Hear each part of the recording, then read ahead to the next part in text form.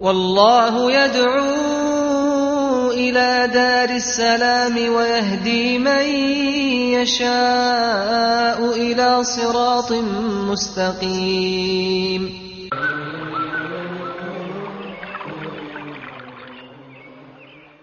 Bismillah ar-Rahman ar-Rahim. Assalamu alaikum wa rahmatullahi wa barakatuh. May Allah, peace and blessing be upon our final prophet Muhammad sallallahu alaihi wasallam. Today we're going to be looking at the virtues of Ramad- the virtues of fasting. Not only does this act of worship, fasting, have virtues, but rather this act of worship of fasting has virtues that are not found in any other acts of worship.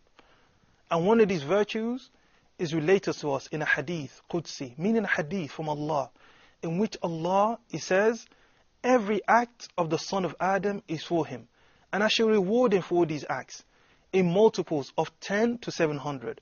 Therefore, in this hadith, Allah is telling us, every act which we do is for us, and Allah rewards us in multiples of 10 to 700. Then in this hadith, Allah made an exception. Allah says, except for fasting. For fasting is for me Allah, and I shall reward him for it. Because this slave of mine has left his food, has left his drink, and left his desires for my sake. The scholars of Islam, they say about this hadith, that fasting does not have a designated reward. Rather, Allah, He rewards fasting abundantly. And we have to ask ourselves a question. Why is this? That the reward for fasting is so great. The reason for this is that the fasting patient person is a patient person. And Allah has said about the patient, He should give them their rewards بغير hisab, with no measurements. So the first distinguished virtue of fasting is that this act of fasting, the act of worship of fasting, its reward is unlimited.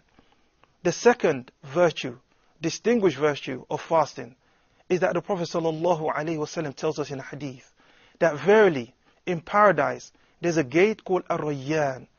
The Prophet ﷺ went to say in this hadith that this gate is reserved exclusively for those who fasted. The Prophet ﷺ said on the day of judgment, it will be called out to them, where those that fasted? And they will stand up and they will enter through this gate to the very last person that fasted. And then the Prophet ﷺ ended the hadith by saying, nobody else will enter the gates of Ar-Rayyan after them, through this gate. So virtue of fasting, that is a gate in paradise. And we pray Allah, in mesos of those who enter through this gate, reserved exclusively for those who fasted.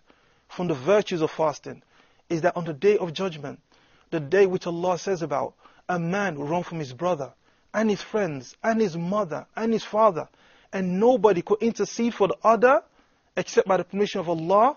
One of the things that will intercede for a person on this day of judgment is fasting. The Prophet ﷺ said in a hadith, on the authority of Abdullah bin Amr, that the Quran and fasting will intercede for a person on the day of judgment. The Prophet ﷺ says that fasting will come forward and say, Ya Rabb, O my Lord, I forbade him from his food and his drink, so allow me to intercede for him. And the Quran will come forward saying, O my Lord, I deprived him of his sleep, allow me to intercede for him.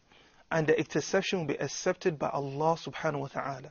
And the last virtue is that the Prophet sallallahu alaihi wasallam says in hadith that the breath, the smell from the mouth of a fasting person is better in the sight of Allah than the fragrance of misk.